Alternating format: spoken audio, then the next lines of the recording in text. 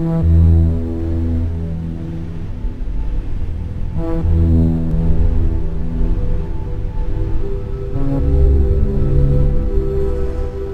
is our underground tubes. This is what we predict trains to be like in the future. The tunnel will take you anywhere you would like, anywhere in the world.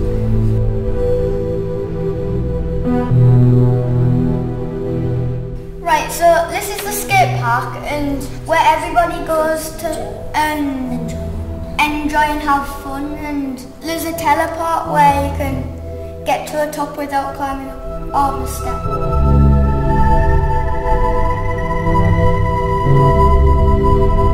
This is the race course and famous racers go there to do tournaments. This is our duck pond. In in the future, we would really like a duck pond because there's only a, a fish pond in in the nature reserve in the village. So we thought a duck pond would be nice to to like um, to feed the ducks and that. This is the village hall and we can do local activities and more clubs.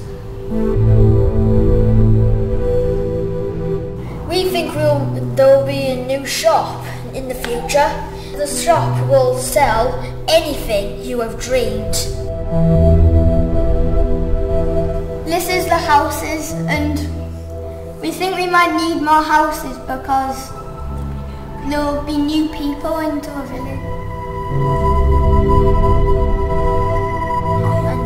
We have our football dome. We predict that um, the football team will make a good team and really give their all. And so we thought a football dome will be good.